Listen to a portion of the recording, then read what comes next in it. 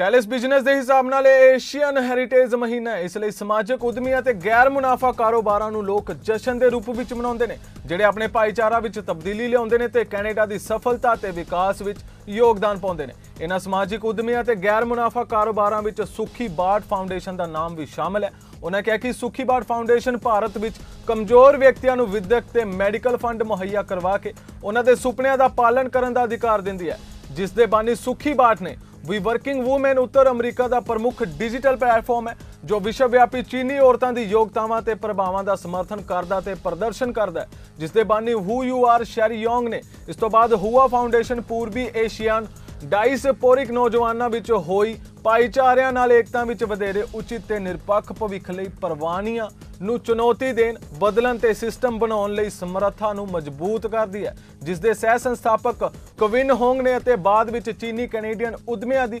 Association ਹੈ। ਚੀਨੀ Canadian ਉਦਮੀਆਂ ਦੀ ਐਸੋਸੀਏਸ਼ਨ ਨੇ ਚੀਨੀ ਕੈਨੇਡੀਅਨ ਉਦਮੀਆਂ ਨੂੰ ਨੈਟਵਰਕਿੰਗ ਸਿੱਖਿਆ ਤੇ ਸਲਾਹਕਾਰ ਦਾ ਕੇਂਦਰ ਬਣ ਕੇ ਹਰ ਪੜਾਅ 'ਚ ਪ੍ਰੇਰਿਤ ਕੀਤਾ ਹੈ, ਜਿਸ ਦੇ ਪ੍ਰੈਜ਼ੀਡੈਂਟ ਕੈਵਿਨ ਆ ਯੂ ਯੋਂਗ ਯੰਗ ਨੇ ਇਹਨਾਂ ਸਭ ਨੂੰ ਸਨਮਾਨਿਤ ਕੀਤਾ ਗਿਆ